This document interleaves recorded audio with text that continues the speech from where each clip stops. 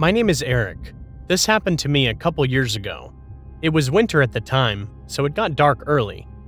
It was me and my friend Chris and Jamal, who were brothers, and my friend Rolando, who all lived in an apartment and wanted to play football, so we went to the park that was close by my apartment. I told my two friends Ian and Johnny to come meet us at the park to hang out. It was right around 6 o'clock and was starting to get dark, and there was some people walking their dogs and little kids with their parents an hour after dark, and there was no one else there. Me and my friend Jamal went to go to the school that was close to the park. We walked and talked for about five minutes, and my friend Johnny texted me saying, Yo, where the f you at? And I replied, We just barely left. And he said, Come back. So me and Jamal went back, where we saw Ian and Johnny run up to us. They told me and Jamal that there was some dude watching them, but Chris and Rolando didn't care and were just tossing the ball. They said they were being paranoid. I asked them to describe what the man looked like. He said he had a buzz cut and had a beard. I looked around and saw a man who was watching us behind the school building, poking his head around the corner. I asked them if that was the man, and Ian and Johnny said the man they saw had a beard, and they pointed out how the guy peeking around the corner had no beard, but he still looked really weird, like he didn't have any teeth.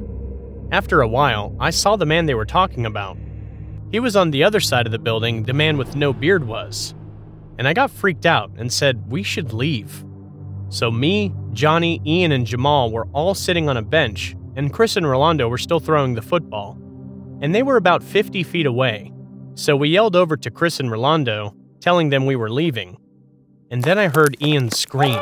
So we all turned around and saw the two men running after us. But Chris and Rolando were far away, so the men were following them for some reason. So we went the direction toward Ethan's house, even though his house was the furthest away.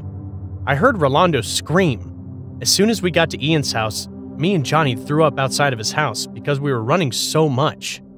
We saw Chris and Rolando's face and they were shocked. We went into Ian's house and his parents asked us what happened, and we told them the whole story. But Chris and Rolando were so scared and weren't talking. We asked them what happened, and they said while they were running, the man with the beard grabbed Rolando's arm until Chris punched the man in the face, and the other man was yelling, They're running! And when they were far from the men, they saw two other men way bigger holding a bat, and one was holding a large knife. Ian's parents called the police, and the men were never caught. Now I hate going outside late.